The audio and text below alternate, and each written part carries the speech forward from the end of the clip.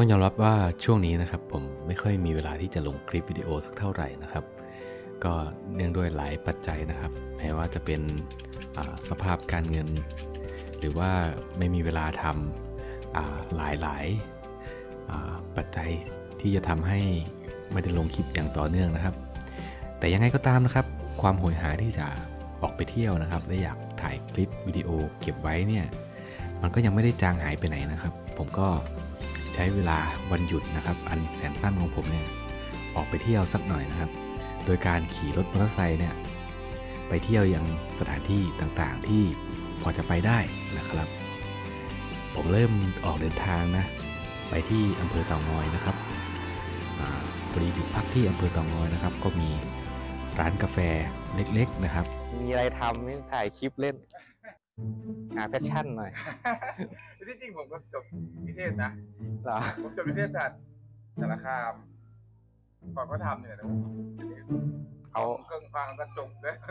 เอาอเมริกาโน่เอาเอาแบบเปรี้ยวๆหน่อยนะเยี่ยมๆจะเป็นตัวนี้ครับร้านนี้ก็จะเป็นร้านกาแฟเล็กๆนะครับ ให้บรรยากาศที่เป็นกันเองมากๆนะครับ ชื่อว่าร้าน 26 ตุลาสโลบาร์นะครับ รสชาติของกาแฟที่นี่ก็ถือว่าใช้ได้เลยนะครับ กับราคาที่ไม่ได้แพงอะไรมากนะครับ เมื่อเทียบกับร้านคาเฟ่อื่นๆนะครับ ก็ให้บรรยากาศที่เป็นกันเองมาก ๆเลยนะครับ หากใครชื่นชอบการดื่มกาแฟนะครับ ก็แวะเวียนกันมานะครับ อยู่ที่อำเภอเต่างอยนะ ร้านก็หาไม่ได้ยากนะครับ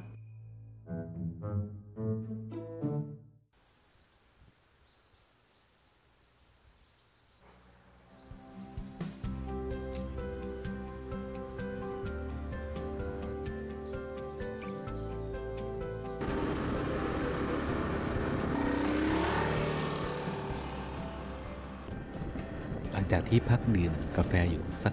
ระยะหนึ่งนะครับ ผมก็นึกขึ้นได้ว่ามีสถานที่ที่หนึ่งนะครับ ที่อยู่ใกล้กับอำเภอเต่างอยมากๆนะครับ ก็มีชื่อว่าพุทธเทวสถานภูดานหลวงนะครับ เป็นสถานที่ปฏิบัติธรรมนะครับ ที่อยู่บนภูเขานะ แต่ผมก็จะไม่เข้าไปยุ่งกับที่นั่นนะครับ จะพาไปดูรอบๆเสียมากกว่านะครับรอบๆมันจะเป็นลานหินนะครับ กว้างมากๆเลยนะครับ เป็นลานหินที่คล้าย ๆ กับลานหินปุ่มนะครับ แต่เป็นหินที่มีลักษณะครุขระแล้วก็คล้ายกับปะการังเสียมากกว่านะครับ ก็ให้บรรยากาศที่น่าตื่นตาตื่นใจ สักประมาณหนึ่งนะครับ มีลานกว้างๆนะครับ แต่คงจะไม่มีใครขึ้นมาเพื่อกางเต็นท์หรือว่าอะไรหรอกนะครับ เป็นสถานที่ที่แบบน้อยคนที่จะรู้จักก็เลยแบบเหมือนมันยังไม่บูมมากกว่านะ และด้วยความที่มันเป็นสถานที่ที่ค่อนข้างจะลึกลับเนี่ย มันทำให้มันยังคงความสดใหม่เอาไว้ได้นะครับแล้วก็ใครจะคิดว่าสถานที่แบบนี้นะครับ มันอยู่ในจังหวัดสกลนครนะ เท่าที่ผมรู้จักนะครับลานหินที่มีลักษณะคล้ายๆ กันแบบนี้นะครับ ก็จะมีอีกที่หนึ่งที่เป็นถ้ำฝ่ามือแดงนะครับ ที่อำเภอกุชินารายนะครับ จังหวัดกาลสินนะครับ พอลองขับมอเตอร์ไซค์ตามเส้นทางขึ้นไปเรื่อยๆนะครับ ระดับความสูงก็จะเพิ่มขึ้นมาอีกนิดหน่อยนะครับรถเล็กก็สามารถไปได้นะครับ ไปเท่าที่บันจะไปได้นั่นแหละ ผมก็ไปเจอกับก้อนหินที่เป็นลักษณะเป็นหินเกล็ดนะครับ คล้ายๆกับของถ้ำนาคาที่จังหวัดบึงกาฬนะครับ มีลักษณะที่เป็นคล้าย ๆ หัวพญานาคนะครับ อาจจะไม่ได้เหมือนมากเหมือนของบึงการหรือว่าที่อื่นนะครับ แต่ก็มันก็เป็นหินเกล็ดนะเนาะ ก็หาพบเจอได้ตามภูเขาที่เป็นภูเขาประมาณเนี้ยผมก็ไม่รู้จะเรียกยังไงดีนะครับ มีลักษณะเป็นลานหินนะครับ มีการแตกตัวของชั้นหินนะครับ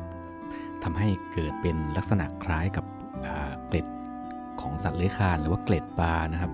อาจจะมีพื้นที่ไม่ได้มากมายอะไรนะครับ แต่ก็ให้ความสวยงามพอประมาณเลยนะครับ มีวิวทิวทัศน์ที่ ค่อนข้างดีนะครับ เหมาะกับการกางเต็นท์นะครับ ถ้ามีการบุกเบิกบ้างนะครับ อาจจะเป็นสถานที่ท่องเที่ยวแห่งใหม่ของจังหวัดสกลนครได้เหมือนเหมือนกันนะครับ เอาละครับ ก็ถึงเวลาที่ต้องจากลากันแล้วนะครับ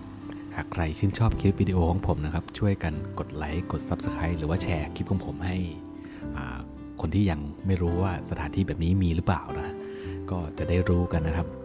เอาล่ะครับ สำหรับคลิปของผมก็มีเพียงเท่านี้ครับ เอาไว้เจอกันใหม่ สวัสดีครับ